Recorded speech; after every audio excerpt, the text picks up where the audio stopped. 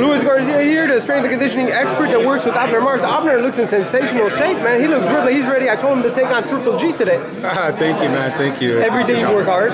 Yeah, every day we work hard, man. It's never, it's never an issue of hard work. You know, sometimes it's an issue of uh, are we getting enough rest? You know, but every, Abner does a great job. He's on weight. He's ready for the fight. Who would you want to see him fight this year?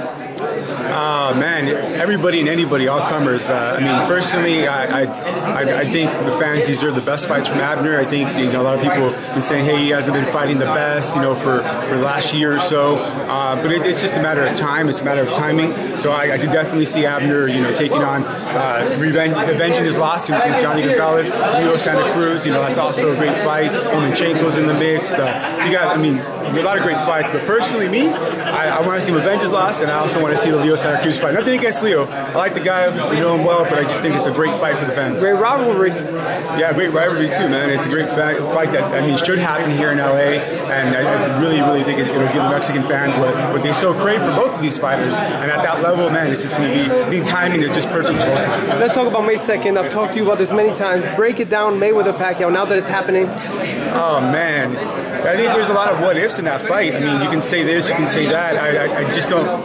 It, it's going to be more of a like where where they are at both physically right now in, in, their career. I mean, I think I think you have seen a decline in Mayweather, and would that actually play a role in this fight? I mean, I know he did hire you know Alex Ariza, and he's talked a little bit about that. I mean, is there any funny business going on? I mean, why did he hire him? Is that going to be something that's going to be positive for him?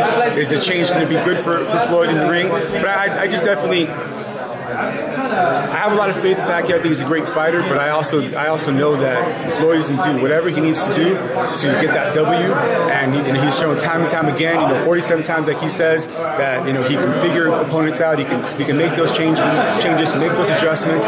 It's going to be really really difficult to beat Floyd. I don't think he's going to stand there in front of Pacquiao. I don't think it's going to be an easy fight, but it, I mean, will it live up to the hype? Uh, it's going to be hard for that to happen. But I, I, definitely, I mean, I go back and forth on it every day. You can ask me this, and I'll probably give you a different answer. But I'm going to take Floyd this time. Take Floyd. Decision or knockout? Uh, decision, man. I don't, I don't, I don't think he's going to go in there and mix it up with, with, with Manny enough to where he's going to get that big knockout punch in. Uh, and and, it, it, it's hard to shoot something like that at somebody who's just throwing so much at you. He's not Marquez. You know, Marquez is a different type of fighter than Floyd. I mean, although Floyd did beat Marquez, he's just a different fighter. I mean, Celtic fights. But you're excited about May 2nd? Oh, man, everybody was excited. You can tell how just super excited. I think the whole boxing was excited. Wherever you and Abner go, is that what people come up to you and first thing, like, hey, what do you think about Mayweather? Do you get that a lot? oh, go? man, I, I, can't I can't go to the gym, you know, and work out myself without getting that question. Hey, do you think that fight's going to happen? Hey, they just announced the fight. What do you think about the fight, you know? Who wins? Yeah. Who wins? And I'm going to give them a different answer every day.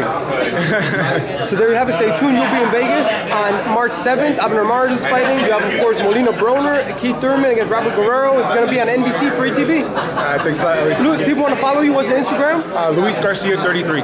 Luis Garcia 33, one of the best strength conditioning trainers in the business. FiestasReport.com. I'm Elie Seckbach reporting.